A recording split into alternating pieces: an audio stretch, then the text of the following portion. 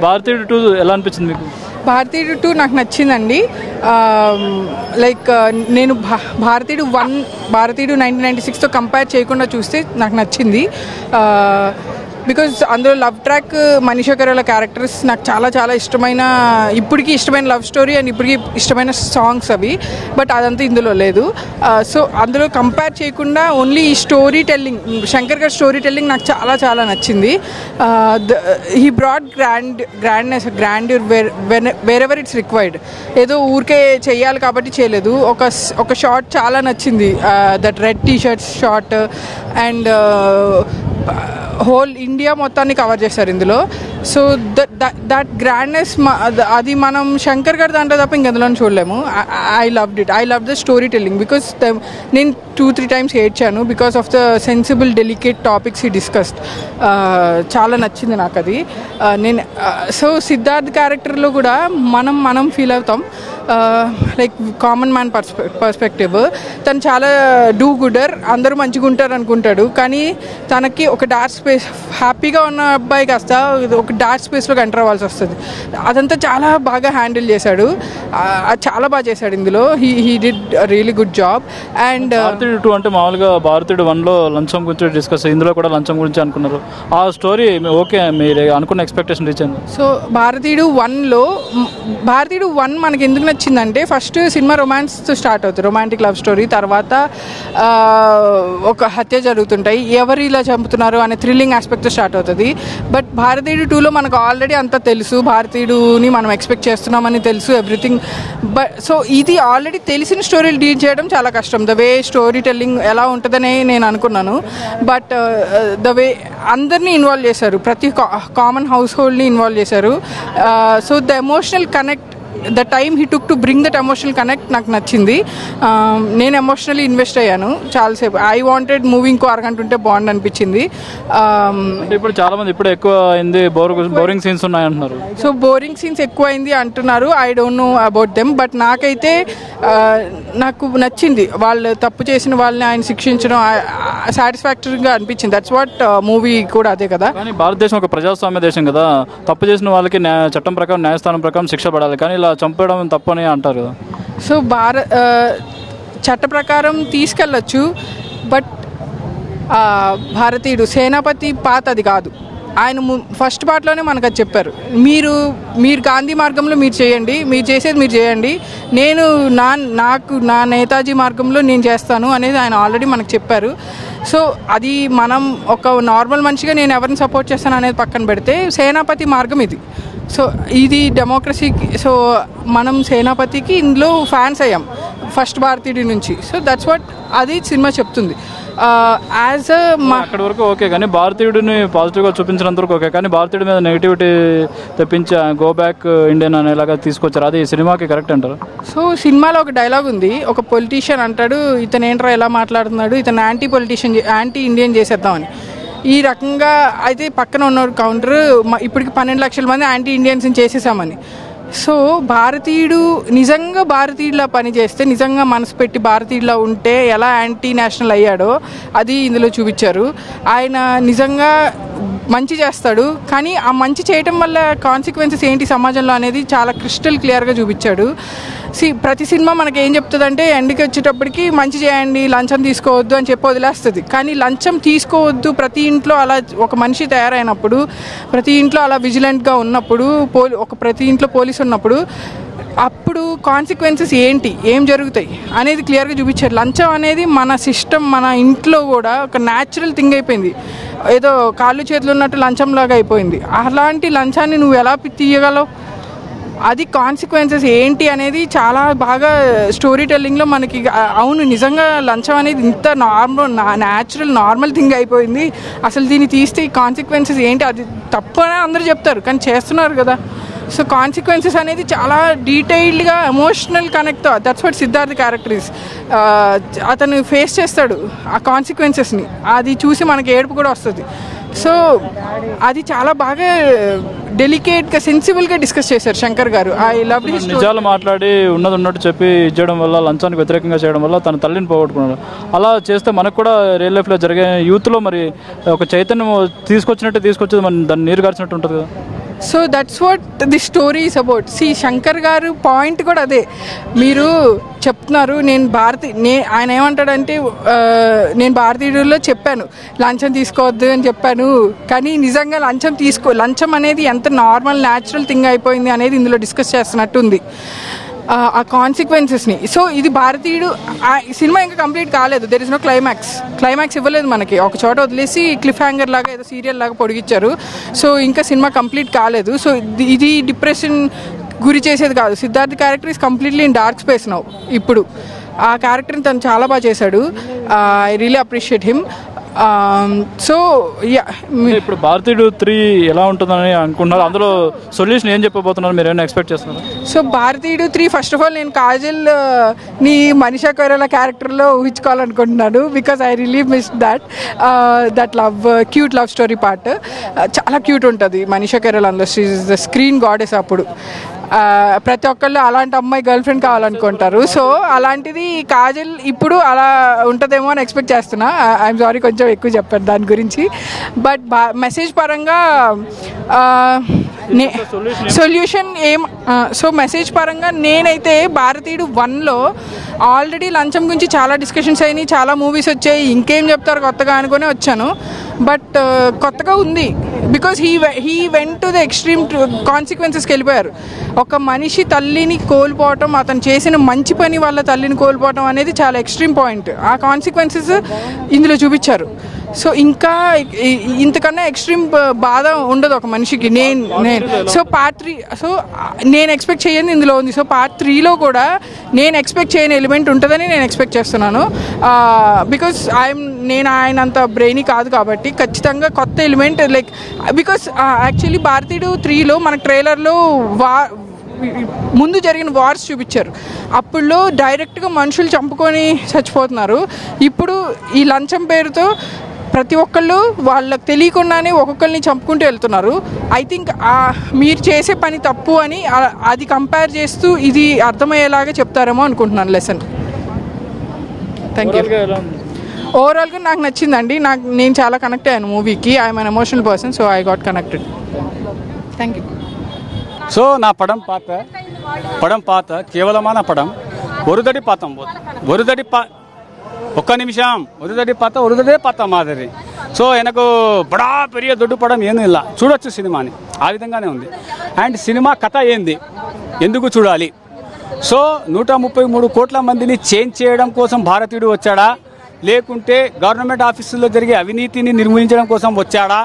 లేకుంటే చాలా లేట్ అయిపోయింది ఆడియన్స్ ముందు నేను రావాలా అనే కాన్సెప్ట్తో వచ్చాడా అనేటువంటిది ప్రశ్న. ఇది ఒక కోణం. అండ్ అనాలోచితపు యువత ఎవరో ఏదో చెప్పారని చెప్పేసి తన సొంత వాళ్ళను సొంత ఫ్యామిలీ వాళ్ళు ప్రాబ్లం ఫేస్ చేసిన తర్వాత కమ్బ్యాక్ ఇండియా అనాలనా గో బ్యాక్ ఇండియా అనాలనా లేకుంటే ఏమనాలా అనేటువంటిది కన్ఫ్యూజన్లో ఉందా? ఇది రెండో కోణం. మూడో కోణం ఏం తెలుసా? మీరు సినిమా టికెట్ పెట్టి కొనడం మూడో కోణం.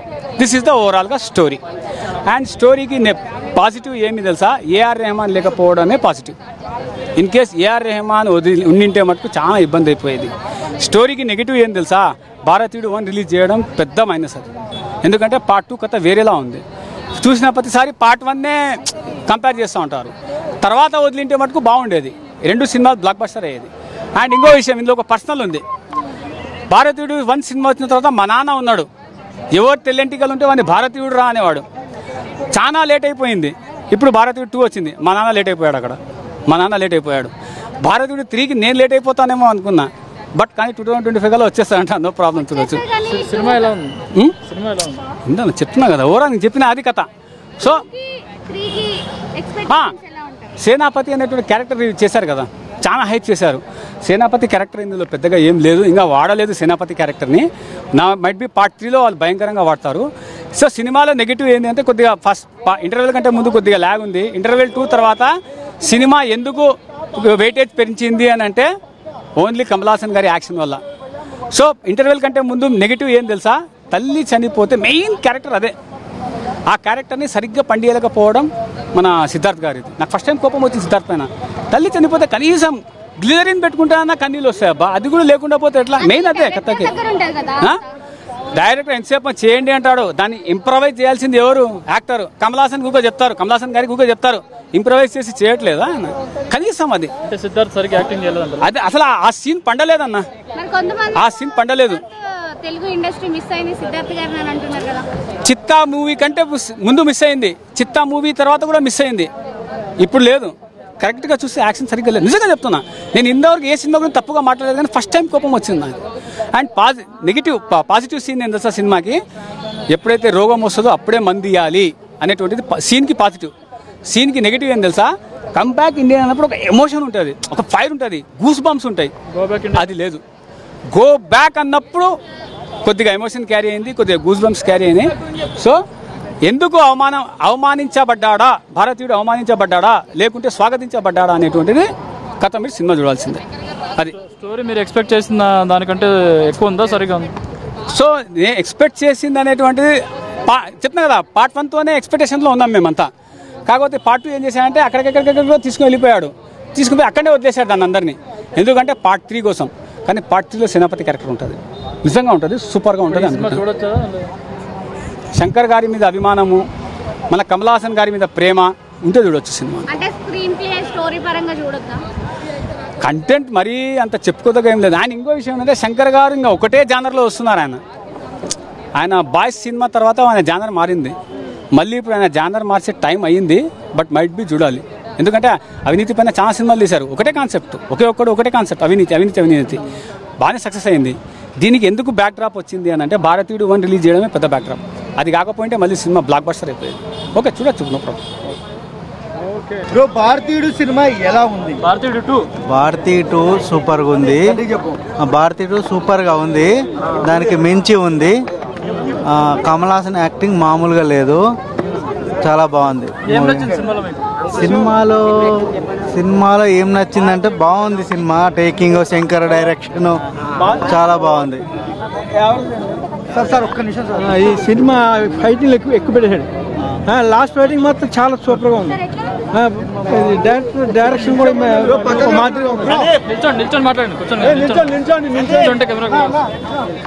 మన మన తెలుగు వాళ్ళు తమిళ తమిళ సినిమాలు యాక్సెప్ట్ చేస్తున్నారు కానీ తమిళ వాళ్ళు మన సినిమాలు యాక్సెప్ట్ చేయట్లేదండి మన మనలో ఉన్నది అంటే మంచితనం అండి. ఆ, భారతీయుడు అయినా సరే మేము ఇది చూడడానికి వెళ్ళామండి. భారతీయ కమల కమల్ హాసన్ యాక్షన్ మొత్తం సూపర్ అండి. వయసు తగ్గట్టుగా యాక్షన్ చాలా బాగా యాక్షన్ సూపర్. కుర్రోడి కింద యాక్షన్ బాగా యాక్షన్ ఆ, పాటలు పెట్టిన పాటలు అస్సలు బాగలేదు. ఆ సిద్ధార్థ పాటలు అసలు ఏం బాగా అవి వేస్ట్ అనమాట ఎందుకు అసలు అర్థం అవట్లా అసలు భారతీయుడు అప్పట్లో ఇరవై ఎనిమిది సంవత్సరాల క్రితం వచ్చిన భారతీయుడికి ఈ భారతీయుడికి కంపేర్ చేస్తే ఏది బాగుంది? ఈ దానికి అదే బాగుందండి ఫస్ట్ బాగుందండి. ఇది అనవసరంగా మాదిరిగా ఉంది. నా నా వ్యూ అండి బయట విషయం నా విషయం మాత్రం నా నా నా ఒపీనియన్ మాత్రం యావరేజ్ అంటే మీరు ఏం ఎక్స్పెక్ట్ చేశారు? దాన్ని ఏం అందుకోలేదు? యాభై అంటే మామూలుగా ఈ ఫ్రాడ్ సైజ్ చేస్తుంటే మంచి బలంగా అండ్ ఇదిగా ఉంటుందని చూశాను అంత అంత అలా చూపించలేదండి. లంచగొండితనం మీద చూపించారు. యాక్సెప్ట్ చేయాల్సి వస్తుంది అలాంటివి ఉంటే మన మన దేశం ఏనాడో బాగుపడింది. ఈ సినిమా చూసి ఎవరైనా మారుతారా? మారుతా ఉందండి ఇది అంత మామూలు కదండి. ఇన్ని ఇన్ని ఇలాంటి సినిమాలు ఎన్నో ఇలాంటి ఇలాంటి సినిమాలు చాలా వచ్చినాయి. ఏమన్నా మారారా? కొత్తగా ఏం లేదు కొత్తగా లేదు. కాసేపు చూడడం మానేడు. అంతే. చూడొచ్చు చూడచ్చు సార్ చూడచ్చు. చూసి ఆనందించి చాలా బాగుంది. కానీ మంచి చేయాలి అంటే కూడా మన ఇంట్లో కూడా వ్యతిరేకత వస్తున్నటువంటి ఒక అంశాన్ని చాలా స్పష్టంగా చూపించారు. దాన్ని ఏ విధంగా మూడో పార్ట్లో ఎదుర్కోబోతున్నారో మళ్ళీ వేచి చూడాల్సిన అవసరం ఉంది. అంటే బోరింగ్ సీన్స్ ఉన్నాయంటున్నారు మీరేమంటారు? ఆ, ఖచ్చితంగా లాగ్ అనేది ఉంటుంది. ఎందుకంటే ఇప్పుడు మనం ఒక ఆలోచించాల్సిన విషయంలో మనందరినీ ఆపాలి అని వాళ్ళ ప్రయత్నం చేశారు. ఈ బోరింగ్ అని కాకుండా మనం ఆలోచించడానికి సమయం వచ్చిందని అనుకోవాలని నేను కోరుకుంటున్నాను. శంకర్ మార్క్ ఉందా సినిమాలో? ఆ, ప్రస్తుతానికి శంకర్ మార్క్ అంటే ఇప్పుడు మనకి కల్కి మార్క్ లాంటివి చాలా వస్తున్నాయి కాబట్టి శంకర్ మార్క్ని కొంతకాలం మనం మర్చిపోయి కల్కిలో ఉంటాం. తర్వాత కాలంలో అయినా మళ్ళీ శంకర్ తన మూడో పాటలో తన ప- మార్క్ మార్క్ తీసుకొస్తారని అనుకుందాం.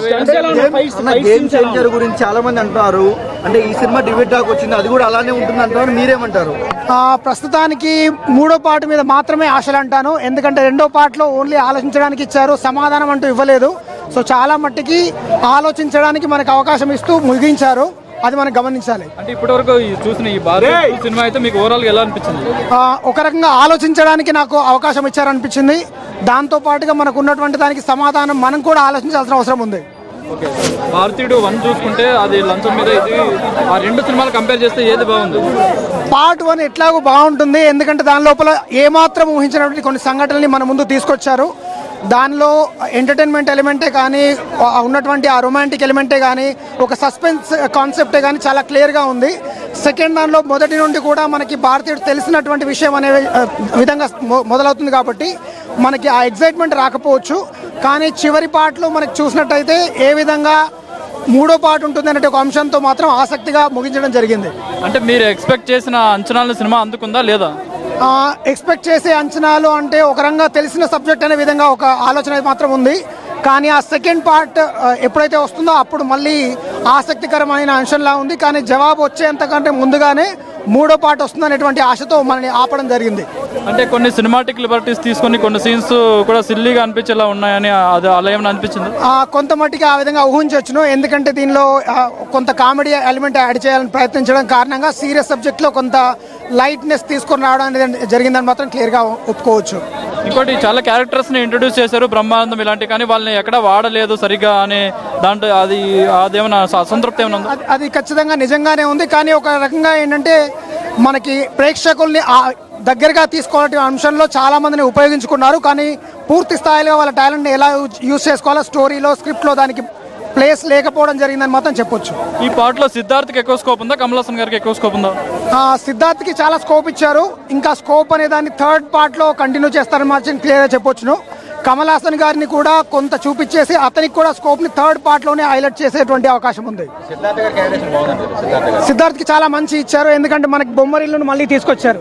తీసుకొచ్చేసి ఈ విధంగా అతని ఏంటి ఒక ఎలిమెంట్ ఆఫ్ ఏంటి ఏంటి ఒక ఎమోషన్ ఏదైతే తీసుకురావాలో దాన్ని తీసుకొచ్చారు.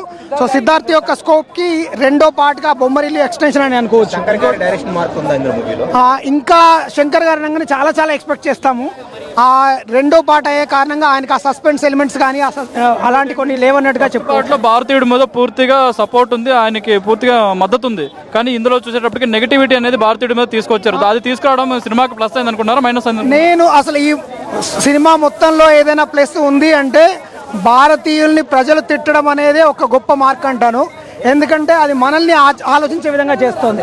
ఏ విధంగా మనం ఒక మంచిని మన ఇంట్లో కూడా ఊహించలేకపోతున్నాం అనేటువంటి ఒక ఒక నీచమైనటువంటి సంస్కారాన్ని సమాజాన్ని దీని లోపల ఖచ్చితంగా చూపించారు. కాకపోతే స్టోరీలో కొద్దిగా తప్పిదం జరిగింది. కొద్దిగా అక్కడక్కడ కొద్దిగా స్టోరీలో ఏమంతా చెప్పుకున్నది లేదన్నా? చెప్పాలంటే ఒక కమల్ హాసన్ కమల్ హాసన్ యాక్టింగ్ ఒకటి ఓకే అని చెప్పొచ్చు సిద్ధార్థ ఒకటి ఓకే అని చెప్పొచ్చు. అంతకుమించి స్టోరీలో ఒక మనకు మెసేజ్ అంటే పాత స్టోరీ అంటే అవినీతి కోసం అప్పట్లో ఎలా చూసాం మనం భారతీయుల సేమ్ అలానే పెట్టిండు. కాకపోతే కొద్దిగా డిఫరెంట్గా పెట్టిండు. అంతకుమించింది ఇంకేం లేదు. కానీ సినిమా ఇంకా బాగుంటే ఇంకా బాగుంటుండే. స్టోరీలో మాత్రం దమ్ము ఏం లేదన్న చెప్పుకున్నది ఏం లేదు. శంకర్ గారు మీరు మంచి సినిమాలు తీయండి. మీరు చెప్పుకున్నది మంచి స్థాయికి వెళ్ళాలి. ఎందుకంటే శంకర్ అంటే ఒక ఒక బ్రాండ్ ఒక నిజంగా చెప్తున్నా ఓ- ఇండియాలో ఫస్ట్ నెంబర్ వన్ శంకరే తర్వాత రాజమౌళి గారు. కాకపోతే మీరు ఇంకా మంచి సినిమా తీయండి సార్? ఇప్పుడు వచ్చే త్రీ తీస్తారు మీరు ఇండియన్ త్రీ ఆ సినిమాలో మంచిగా తీయండి కొద్దిగా. మీరు ఏ రైమన్ మ్యూజిక్ పెట్టుకోండి. మీరు ఏ రైమన్ మ్యూజిక్ తోటి మీరు కాంబినేషన్ తోటి సినిమా బ్లాక్ బస్టర్ కొడతాను మ్యూజిక్ ఓకే అన్న ఏఆర్ రైమన్ తోటే శంకర్కి సక్సెస్ కావాలంటే ఏఆర్ రైమన్ ప్రతి సినిమాలో ఏఆర్ రైమన్ ఉంటేనే సినిమా బ్లాక్ బస్టర్ కాకపోతే స్టోరీలా చూసుకోవాలి. ఎక్కడ స్టోరీ తప్పింది? ఉన్నాయి.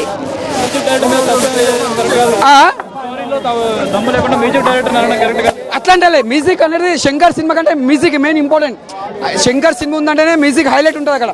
అనిరూప్ మ్యూజిక్ మంచిగా ఇచ్చిండు శంకర్ ఉన్న మ్యూజిక్ అది హైలైట్ ఉంటుంది ఇంకా? అది ఇంకా బాగుంటే ఇంకా బాగుంటుండన్న. కాకపోతే ఏంటంటే జర ఇంకా సినిమా చెప్పుకుంటే ఏం లేదన్న. మనకు భారతీయ టూ అంటే ఒక ఒక సక్సెస్ఫుల్ ఉంటుంది.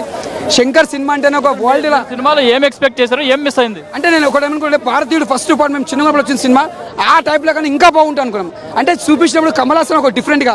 అంటే అప్పట్లో ఒక డిఫరెంట్గా. ఒక అంటే భార్యాభర్తలు కానీ కమల్ హాసన్ సెకండ్ వాళ్ళ కొడుకు రావడం కానీ అంటే కొడుకు చనిపోతాడు. కాకపోతే ఈ పాటలో ఒక డిఫరెంట్ పెట్టాలి. ఇప్పుడు ఉన్న జనరేషన్ తగ్గట్టు. అప్పటి జనరేషన్ ఇప్పుడు జనరేషన్ చాలా చాలా ఫరక్ అయింది. అంటే ఇప్పుడు జనరేషన్ కనెక్ట్ కావాలి సినిమా ఇది? ఇప్పుడు జనరేషన్ కనెక్ట్ కంటే అప్పటి జనరేషన్ ఇప్పుడు కనెక్ట్ కావాలి సినిమా. అప్పట్లో అది కనెక్ట్ ఇప్పుడు కనెక్ట్ అంటే సినిమా తీయలేడు ఆయన. తీస్తుండే ఇంకా బాగుంటుండే. కాకపోతే తప్పిదం జరిగింది అక్కడక్కడ కొద్దిగా తప్పిదం అంటే స్టోరీ అంటే కలుపుకోవడం అనేది తీయడం అక్కడిక్కడ జర తప్పడం జరిగింది. అంటే హీరోని చూపించడం కానీ అంటే అక్కడ హీరో విలన్స్ ఎక్కడ పెట్టాలి? అంటే ఆ స్టోరీలో ఆ ఫైట్స్ ఎట్లా ఉండాలి? ఫైట్స్ మాత్రం చాలా నాకు ఒకటి చెప్పాలి నా favourite music director AR Rahman Anirudh Anirudh మాత్రం మంచిగా కొట్టిండు. శంకర్కి మ్యూజిక్ కొట్టాలంటే ఏఆర్ రెహమాన్ ప్రతి సినిమా బ్లాక్ బస్టర్ సరే భారతీయుడు వన్ చూసారు ఇరవై ఎనిమిదేళ్ళ క్రితం. ఇప్పుడు భారతీయుడు టూ చూసారు దానికి దీనికి ఎలా ఉంది? సూపర్ భారతీయుడు టూ ఎక్సలెంట్ అంటే చాలా మంది స్టోరీ మేము చాలా ఎక్స్పెక్ట్ చేసాం. మా అంచనాలకు తగ్గట్టుగా లేదు. పాత స్టోరీని చూపించారని అంటున్నారు. పాత స్టోరీ చూపించారా? పాత స్టోరీలో జనాలు తిరగబడ్డారా? తిరగబడలేదు కదా. ఎక్సలెంట్ అదే కొత్తదనం ఏదో ఒకటి చూపించాలి కాబట్టి ఆయన ఎక్సలెంట్గా చూపించాడు ఎక్సలెంట్గా చేశాడు. అసలు దానికి తిరుగులేదు మీరు అనుకున్న అంచనాలన్నీ అందుకుందా అనుకున్న దానికన్నా రెండు రేట్లు ఎక్కువ తీశాడు. హైలైట్స్ అంటే ఏం చెప్తారు ఈ సినిమాలో? హైలైట్స్ అంటే ఏం చెప్తారు? Cinematography and taking direction everything అంటే పార్టర్లో వన్లో చూసుకుంటే భారతీయుడికి ఫుల్ సపోర్ట్ ఉంది పాజిటివిటీ ఉంది. కానీ ఇక్కడ ఆయన మీద నెగిటివిటీ వచ్చేలాగా చూపించారు. అది అదే అదే థ్రిల్లింగ్గా ఉంది అదే థ్రిల్లింగ్గా ఉంది. మూవీకి అసలు ప్లస్ పాయింట్ అది. నార్మల్గా తీసుంటే నార్మల్గా చేస్తుంటే ఎవ్వరు ఎక్స్పెక్ట్ చేయరు ఎవ్వరు చూడరు. అసలు భారతీయుడిని కంబ్యాక్ అని చెప్పి గో బ్యాక్ అనడమే సినిమా హిట్. చాలా మంది ఆర్టిస్టులు మంచి చేద్దామని ఎవడైనా ముందుకు వస్తే వాడిని నెగిటివిటీ చేయడమే ఇప్పుడున్న సమాజం.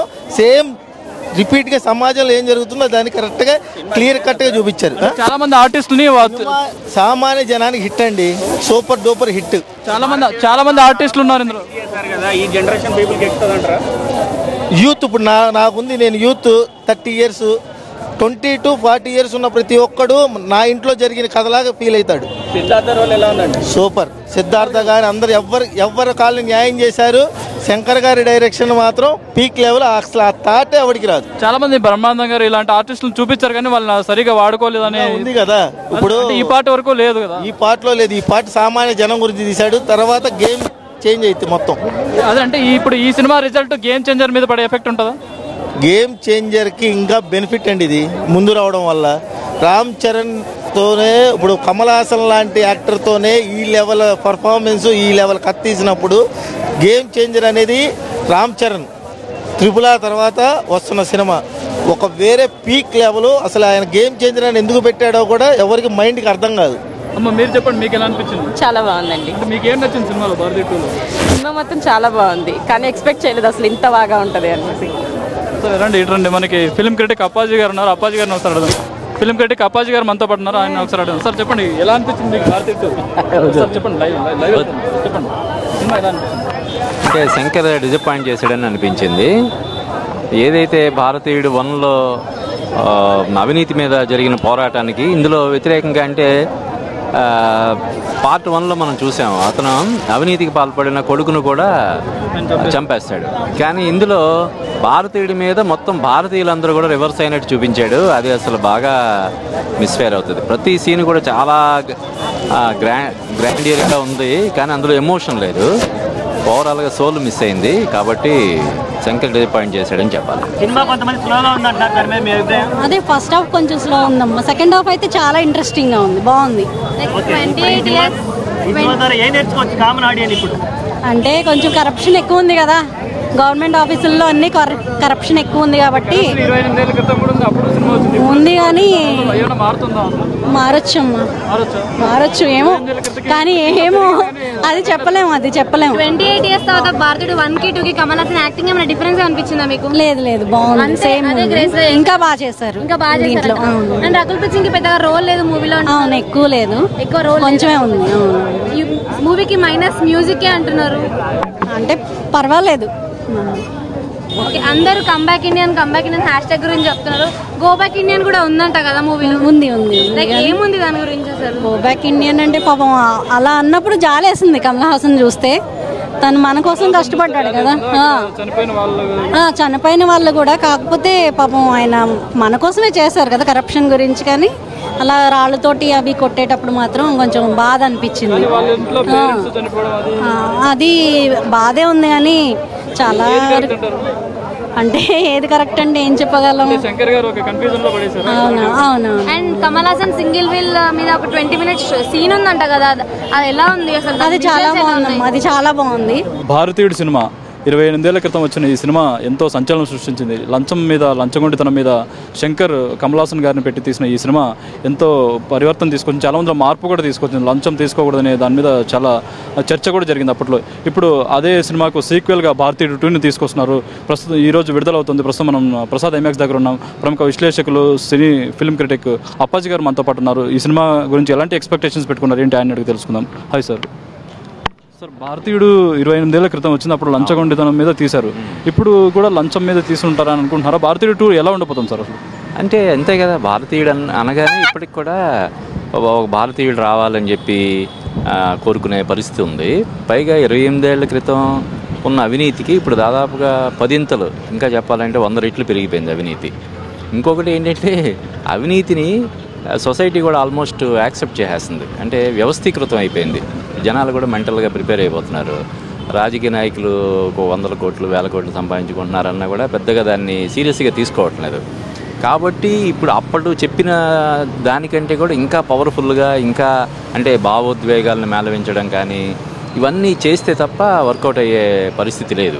ఇందా ఎందుకంటే అవినీతి అనేది ఇప్పుడు జనాలు పెద్దగా సీరియస్గా తీసుకోవట్లేదు కాబట్టి.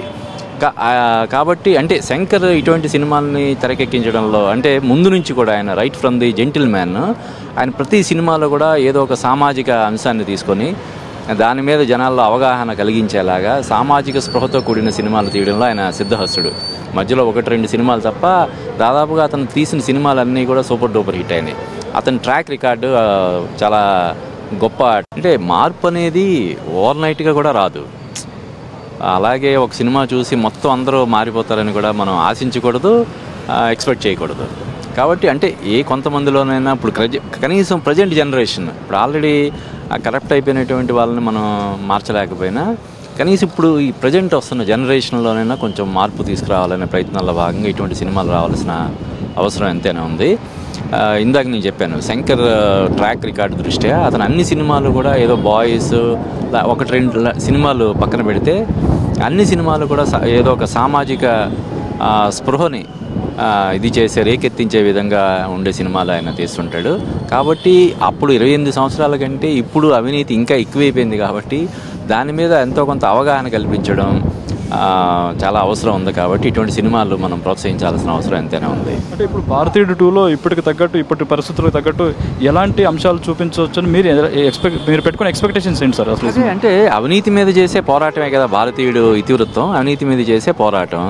దాన్ని ఇంకా అంటే అంటే వినోదాత్మకం అనడం కరెక్ట్ కా కాకపోవచ్చు కానీ దాన్ని ఎంత ఎఫెక్టివ్గా చెప్పారనే దాని మీద సినిమా సక్సెస్ ఆధారపడి ఉంటుంది. ఓన్లీ లంచం తీసుకుని అవినీతి చేసే వాళ్ళ మీద ఈ సినిమా ఉంటుంది అనుకోవచ్చా లేక బ్యాంకుల్ని దోచేసి విదేశాలకు పారిపోయి అలాంటి వాళ్ళ మీద కూడా ఈ సినిమా ఉంటుంది? అంటే అవినీతి అనేది వంద రూపాయలైన అవినీతే వంద కోట్లైన అవినీతే వెయ్యి కోట్లైన అవినీతే కదా. కాబట్టి దాని మీద పోరాటం భారతీయుడు ఇప్పుడు ఇండియన్ టూ టూ పోరాటం ఎలా ఉంటుంది అన్నది మనం చూడాలి. ఇందులో సిద్ధార్థ్ క్యారెక్టర్ చాలా కీలకం అని చెప్తున్నారు సార్. ఆ క్యారెక్టర్ మీద మీకు ఎలాంటి ఎక్స్పెక్టేషన్ ఉంది? అంటే సిద్ధార్థ్ బేసిక్కి చాలా మంచి నటుడు కదా. అతను బొమ్మరిల్లు కానీ నువ్వు వస్తానంటే నేను వద్దంటాను కానీ అన్ని సినిమాల్లో కూడా అతను మంచి పర్ఫార్మెన్స్ ఇచ్చాడు. అలాగే సిద్ధార్థ్ని ఇంట్రడ్యూస్ చేసిన వ్యక్తి శంకర్. బాయ్ సినిమాతో సిద్ధార్థ్ వచ్చాడు. కాబట్టి ఈ సినిమా అతనికి ఇంకొంచెం స్పెషల్. ఖచ్చితంగా మంచి బెటర్ పర్ఫార్మెన్స్ అంటే కెరీర్ బెస్ట్ పర్ఫార్మెన్స్ ఇచ్చి ఉంటాడని చెప్పి నేను భావిస్తున్నాను. థ్యాంక్ యూ సార్ థ్యాంక్ ఇక్కడ అలాగే అభిమానులు కూడా ఉన్నారు ఇక్కడ. వాళ్ళతో కూడా మాట్లాడే ప్రయత్నం చేద్దాం. చెప్పండి భారతీయుడు టూ సినిమా గురించి మీకు ఎలాంటి ఎక్స్పెక్టేషన్స్ ఉన్నాయి? భారతీయుడు టూ గురించి మీకు ఎలాంటి నా పేరు రవిచారి. నేను వచ్చింది డిఆర్డిఎల్కి వచ్చాను.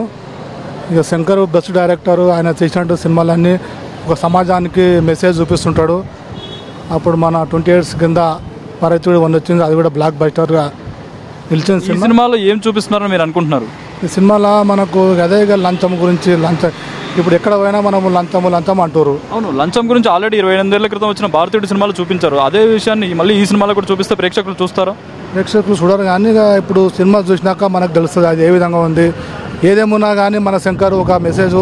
అంటే ఈ సినిమాలో ఏం చూపించబోతున్నారో మీరు ట్రైలర్ ఇవన్నీ చూసుంటారు కదా. చూశాక మీకు ఇందులో ఏం చూపించారో మీరు అనుకుంటున్నారు ఏం చూపించబోతున్నారో మీరు ఎక్స్పెక్ట్ చేస్తున్నారు. ఏం చూపిస్తారంటే మన ఇది లంచం గురించే ఉండొచ్చు అని అనుకుంటున్నా ఎక్స్పెక్ట్ చేస్తున్నా. తర్వాత కూడా రామ్ చరణ్ కూడా గేమ్ చేంజర్ కూడా సినిమా కూడా బాగానే ఉంటుంది.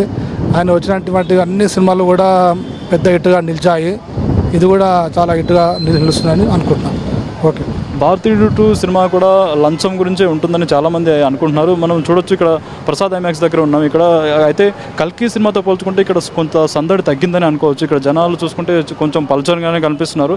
కల్కికి అయితే మొత్తం నిండిపోయారు. ఇప్పుడు భారతీయుడు టూ విషయంలో చూసుకుంటే అసలు ఓపెనింగ్స్ చాలా తక్కువ ఉన్నట్టు కూడా మనకి కనిపిస్తున్నాయి. ఇక్కడున్న వచ్చిన ప్రేక్షకులను కానీ ఇక్కడున్న జనాలు కానీ చూస్తే చాలా తక్కువ మంది ఇక్కడ మనకి కనిపిస్తున్నాయి మామూలుగా ఒక పెద్ద సినిమా అది కూడా పాన్ ఇండియా సినిమా.